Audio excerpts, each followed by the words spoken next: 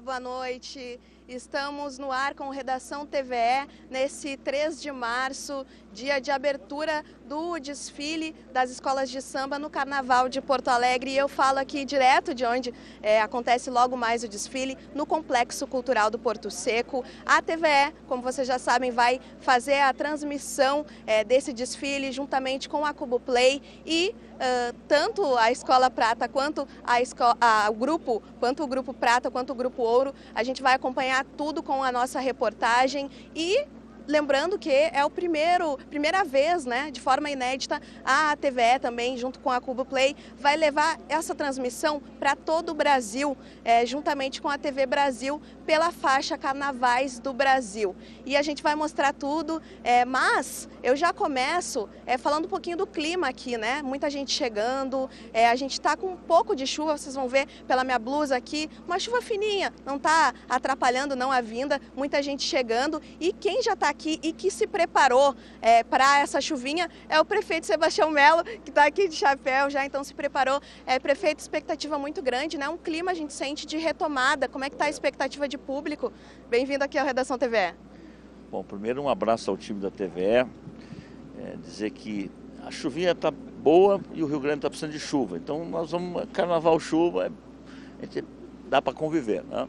Olha, é um ato, atos preparatórios importantes para chegar a esse momento. Nós estamos tratando do carnaval já desde março desse, né, né do ano passado, é, quando né, começou a primeira governança, e de lá para cá fomos tratando em várias reuniões. Aí tem o setor público, tem as ligas, tem as parcerias. Bom, e chegamos ao momento do carnaval. E que ele seja o carnaval da retomada com algumas novidades importantes. Primeiro, fazia 10 anos né, que você é, cobrava aqui os ingressos, nós chegamos à conclusão que para dar oportunidade àqueles que vêm desfilar, e muita gente via aqui, naquele carnaval tão difícil da pandemia, diz, olha, eu estou indo embora porque eu não tenho dinheiro para comprar o um ingresso, então a gente liberou as arquibancadas. E no forma... momento de crise, né, prefeito, crise. muita gente sem dinheiro. Então fizemos de forma organizada, os lotes foram distribuídos e deixamos uma pequena reserva, porque a gente daqui um pouco é, é, pode faltar alguém, então se tiver mais uma, uma, uma, arquibancada liberada, a gente libera, sempre com segurança, porque você não pode botar mais pessoas que aquilo que o PPCI é, concedeu. Né? Os camarotes todos foram vendidos, o Opinião é nosso parceiro aqui, está muito bonito, vocês estão vendo a iluminação e tenho certeza absoluta que vai ser uma grande festa. E eu quero pedir aqui né, de que separe lixo, né, de que direção não não casa com, com bebida alcoólica. As linhas de ônibus foram mais reforçadas nos bairros das escolas, então também acho que vir no coletivo é mais seguro, voltar no coletivo é mais seguro. E que a gente possa, no final desses dois dias, vencer a escola que melhor apresentar aqui. Essa é uma bela disputa. Eu andei por, todos os, né, por todas as quadras e vi muito entusiasmo, vi muita. Prefeito tem torcida para alguma ou não? Para todas? Eu sou imperadores, né? Eu sou imperadores, mas eu respeito muito as demais escolas. O senhor é campeão, então, está lutando para manter o, o, campeonato. É, mas veja bem, né? acho que o prefeito é, tratou igualmente, a prefeitura e toda a equipe tratou igualmente todas as escolas. Né? Nós fizemos o fomento para as escolas se prepararem, né? então foi dois grupos, o grupo prata recebeu um valor, o grupo ouro recebeu outro valor.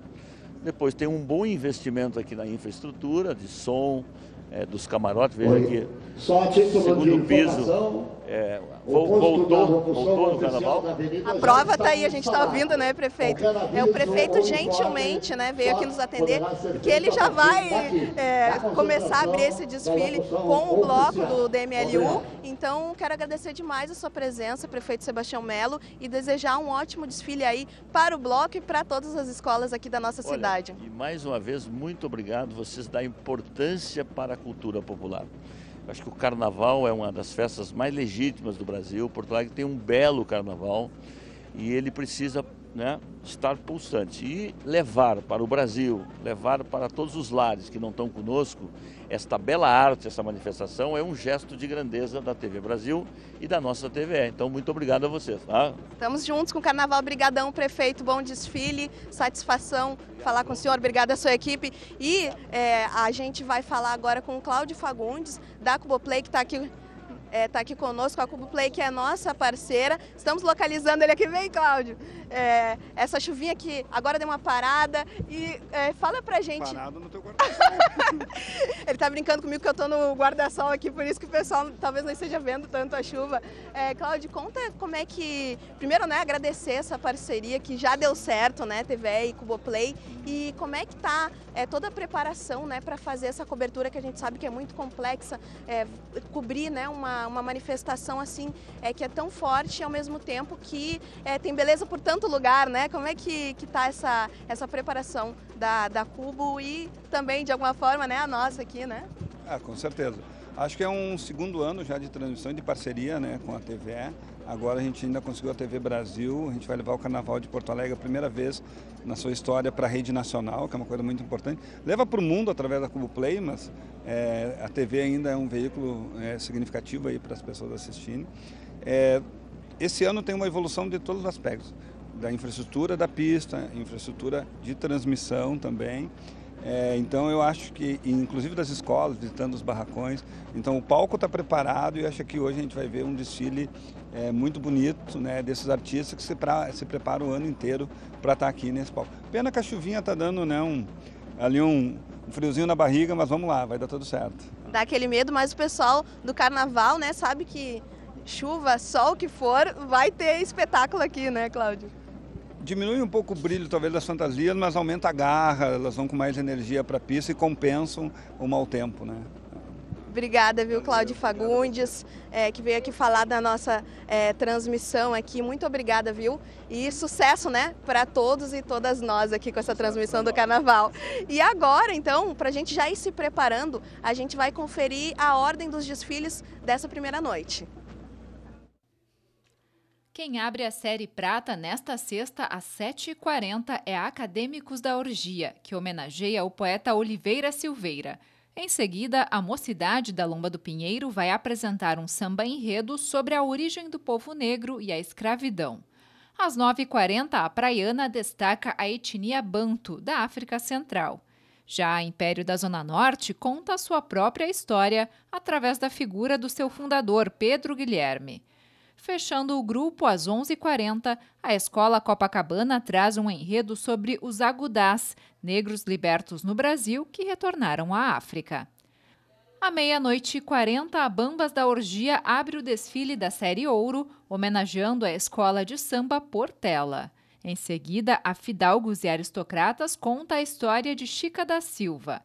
A Acadêmicos de Gravataí, às três da manhã, projeta o futuro da sua cidade de origem. A força da união é o tema da Imperatriz Dona Leopoldina. E fechando a noite, a Unidos de Vila Isabel leva um enredo sobre o ouro para a avenida.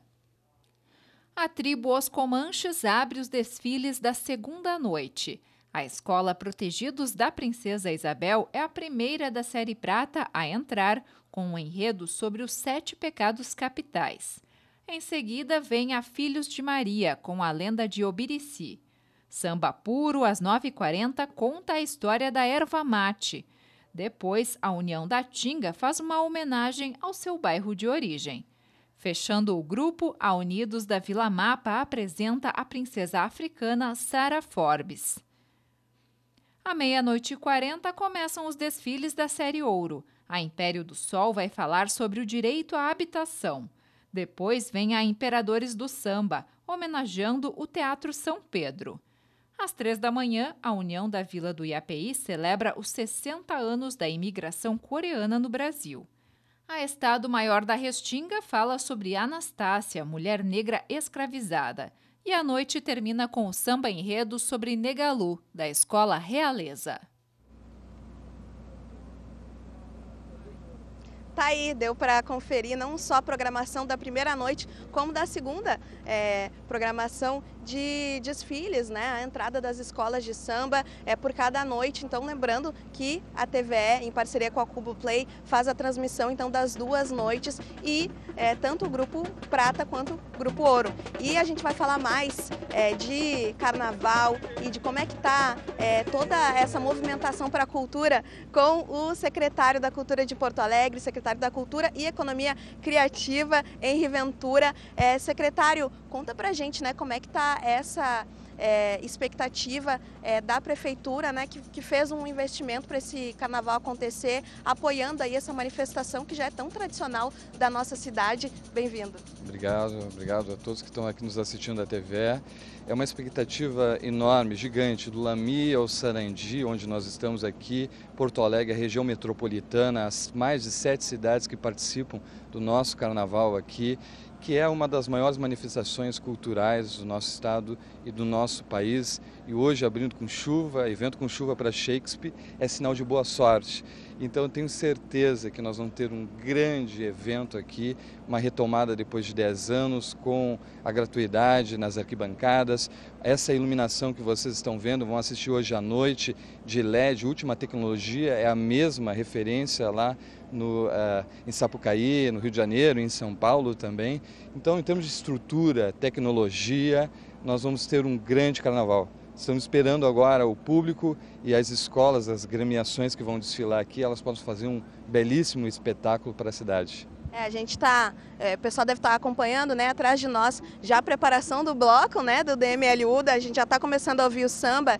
E, é, secretário, conta pra gente, assim, em termos de movimentação também para a economia da cidade, né, qual a importância é, desse evento, o que, que ele é, gera, né, para tantas pessoas que trabalham também com o carnaval. Hoje nós temos aqui mais de mil pessoas trabalhando diretamente, fora os indiretos. Nós temos mais de 20 mil pessoas, expectativa para cada noite. As alegorias são montadas com um mês de antecedência. As atividades nas escolas de samba ocorrem o ano inteiro. São inúmeros profissionais. Isso é geração de emprego, de renda, para além do desenvolvimento social, do caráter emancipatório que a cultura tem, através do carnaval, da inclusão que o carnaval traz também é, gera todo esse movimento, economia criativa, desde da costureira, do artesão, enfim, até o operador aqui de televisão, da imprensa, são inúmeros profissionais, isso é muito importante. No Brasil, a gente está vendo o país movimentar quase 10 bilhões de reais em termos de né, impacto econômico do carnaval no país inteiro, são milhares de empregos. Então, cultura é desenvolvimento social, mas também é desenvolvimento econômico através da cadeia produtiva do carnaval.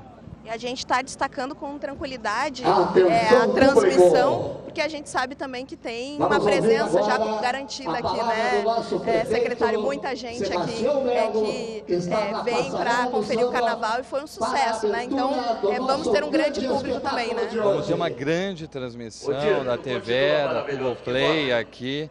Isso demonstra a grandeza dessa manifestação cultural, a importância que ela tem.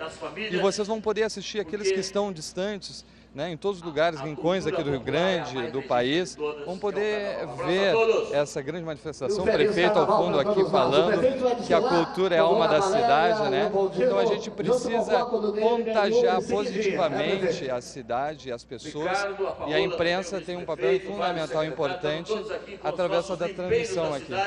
Com certeza. Muito obrigada, viu, secretário Henri Ventura, pela entrevista aqui no Redação TV, viu? Muito obrigada e sucesso para todo mundo e para o senhor também aqui nessa noite de carnaval. Obrigada. E agora a gente vai conhecer um pouco mais da história é, dessas figuras que representam o nosso carnaval de Porto Alegre que compõe a corte. Então a gente vai conferir a história da primeira princesa, a Andriele Brum. Eu pisei a primeira vez no Complexo Cultural do Porto Seco com seis anos de idade. E daí nunca mais parei. Minha avó é do carnaval, meus pais se conheceram no carnaval. Minha mãe desfilou grávida do meu irmão, posteriormente venho eu. Era um sonho que eu tive desde pequena. Sempre ia no tesourinho assistir os concursos. A minha família também tinha, tinha esse sonho de ter alguém na corte. E eu decidi vencer meus medos e conseguir entrar para a corte do carnaval. Que nós possamos cada vez mais levar nossa cultura, defender, porque o carnaval é isso, muitas vezes é darmos voz àquilo que nós queremos, falar. Então, que as escolas consigam defender os seus temas com excelência e que ele seja muito bem representado e tenha sempre essa visibilidade que ele merece.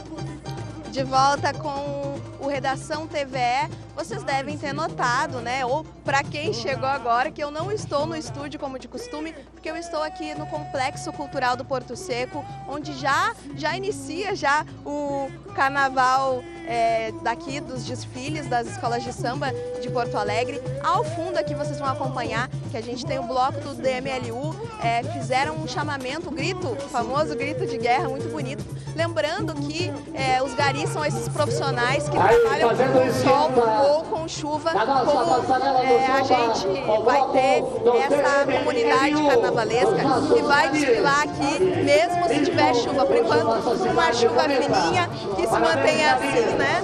É, mas, é, enquanto a gente é, vai vendo mais informações aí sobre o carnaval aqui, direto do Complexo Cultural do Porto Seco, nós vamos continuar vendo a série é, sobre as personagens da corte.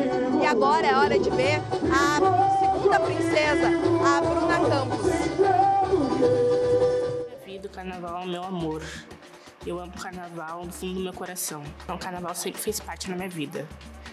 Meus avós eram sócios remidos do Bambas, minha mãe fazia carro do Bambas, meu, minha família paterna era toda do IAPI, então a minha família toda é carnavalesca, então comigo não seria diferente. O carnaval me deu, me ensinou, me fez aprender, me fez aprender a amar, me fez aprender a respeitar e, e saber o que, o que é cultura. Cada ano que passa, aprendo mais para ensinar para os que estão chegando, que começaram pequenininho que nem eu. Eu vou encarar com muita dignidade, com muito amor, com muito carinho, com muito respeito a minha cultura, ainda mais o carnaval da minha cidade, onde eu nasci, onde eu fui criada e onde eu habito, que é o Carnaval de Porto Alegre.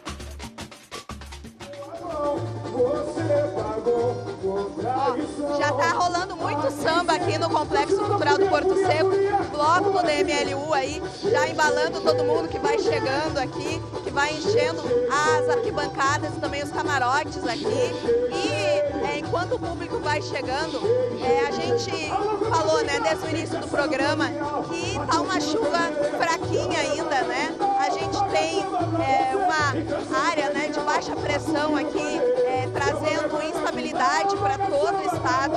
A perspectiva é de que chova e chova bastante em todo o Rio Grande do Sul nesse final de semana, o que é uma boa notícia, né? Porque a gente sabe que é, vem sofrendo com estiagem. Mas vamos conferir como é que fica o tempo no final de semana. A gente confere agora na previsão.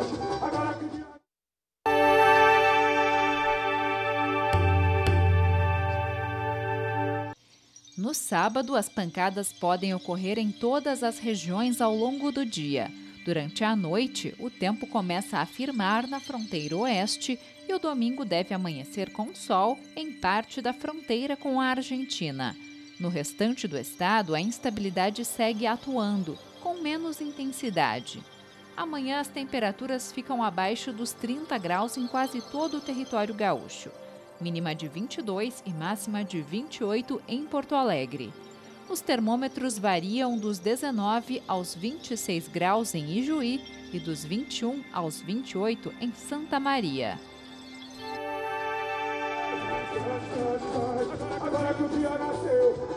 E agora é a hora de conferir outra estrela da nossa corte do Carnaval de Porto Alegre. É a rainha, a Virgínia Rosa. Eu descobri o carnaval uh, na adolescência. A minha família é muito envolvida nos bastidores, mas destaque, sair, não, eu fui a primeira da família a realizar o sonho do meu pai. E a importância da escola para a comunidade não é só no período carnavalesco. é na parte do inverno, verão, primavera, naquelas partes mais difíceis. E a gente faz trabalhos sociais comunitários do qual a gente alimenta mais de 200 famílias. Então, como rainha, eu quero, não digo todos, mas o máximo de sonhos possíveis eu quero realizar. Principalmente nossas crianças. Eu quero a trazer mais as crianças para o carnaval. Eu quero mais alegria, mais felicidade, colocar ali na avenida nosso brilho, a nossa alegria. Então é isso que eu espero lá no, no Porto Seco.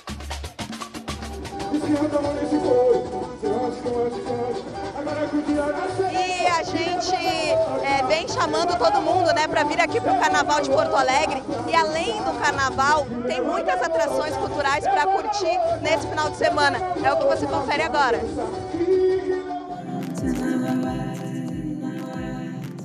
Hoje, no Café Fonfon, às 9 horas, tem novo show do projeto Bel Medula. A cantora Isabel Nogueira comemora 10 anos na capital com repertório em formato inédito. Acompanhada por Luciano Zanata e banda, toca em versões orgânicas e apresenta novas músicas para o público. Ingressos antecipados no Simpla e no local.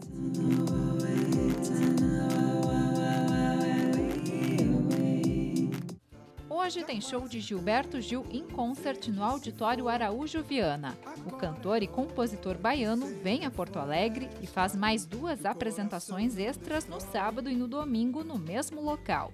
Na sexta e no sábado, às nove da noite, e no domingo, às oito. Ingressos na plataforma Simpla.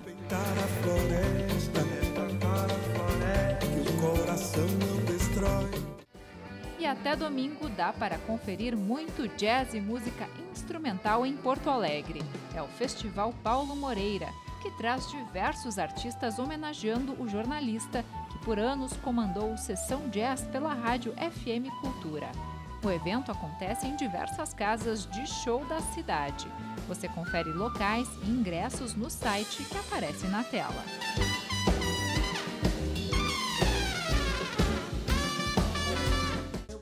Amanhã o grupo Samba de Moça faz show às nove e meia da noite no Alcabar, no bairro Navegantes.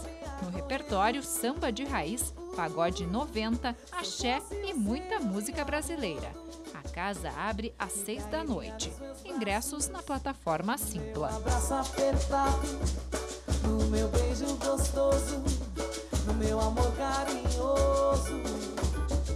No E para encerrar, né, com chave de ouro, a nossa série sobre a corte do Carnaval de Porto Alegre, a gente fala do Rei da Folia, o Rei Momo. Já apagar o link. Vamos conferir. Minha história com o Carnaval, ela se começou em 2009. Eu estudei quesitos do carnaval, eu, eu já estudei para ser jurado de mestre porta-bandeira, eu já fui diretor de destaque de uma escola, já fui departamento de carnaval de outra, já trabalhei em barracão. É um conjunto que me dá é, tudo isso, porque eu gosto da emoção. Sempre quando eu falo, quando eu fazia fotos, eu gostava de captar a emoção das pessoas. Então a emoção que me faz uh, ter todo esse amor pelo carnaval. As pessoas têm a corte como algo uh, ali que seja simbólico, que vai ter o carnaval. Depois que escolhe a corte, é considerado que o carnaval começou.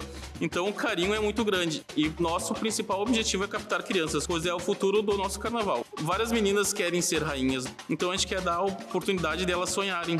A gente quer que quando termine nosso reinado, seja a corte que deixou todo mundo sonhar.